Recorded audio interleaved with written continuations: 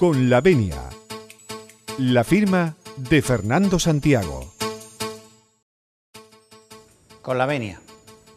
Los partidos políticos tienen la propensión a eh, utilizar las instituciones como si fueran cortijos particulares. En este caso, el Partido Popular piensa que todo organismo, empresa, institución, entidad dependiente del Gobierno de España es como si fuera propiedad particular suya.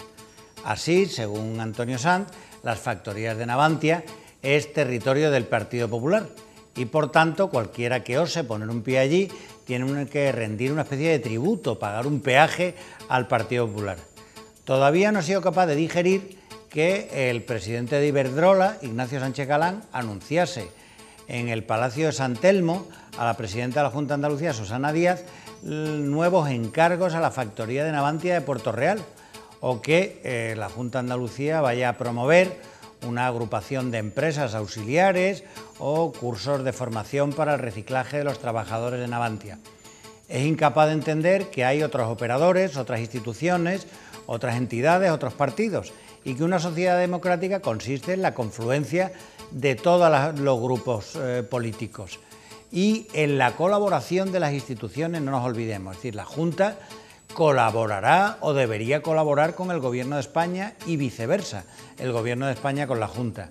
Ni Navantia es propiedad del Partido Popular, ni eh, los centros educativos o los hospitales son propiedad del Partido Socialista. Todos son instituciones públicas y es propiedad del conjunto de los ciudadanos. Y de la colaboración entre las instituciones que comandan partidos diferentes, pues llegará mejor gestión y alcanzaremos unas mejores cotas de los servicios públicos.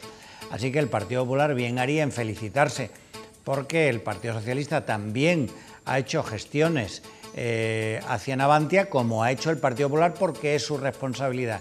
En vez de esas peleillas de niños chicos, eh, tirarse los trastos a la cabeza de manera absurda que hacen unos partidos con otros que no le interesa absolutamente a nadie con la venia.